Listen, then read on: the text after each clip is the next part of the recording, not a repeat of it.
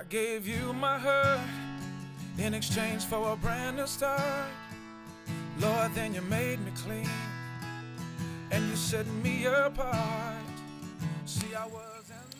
What's up, guys? This is Murph just coming to y'all. Uh, got gnats flying around everywhere. Just want to make a quick vid for y'all. Uh, been spending time with my family today.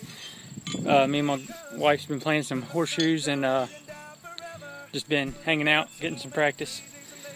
Uh, but praise God, here we are in beautiful Pipestem State Park. A lot of you know it that live in the state. Some of you don't who don't live here. It's a beautiful park out here in the wide open by ourselves. And uh, just want to say glory to God for all things. And we've had a great day. Here's Rayleigh and Christy. Say hi.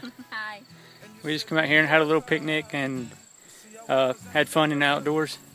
Victory over agoraphobia and panic and anxiety in Christ Jesus. Uh, this is just a quick vid, just a minute.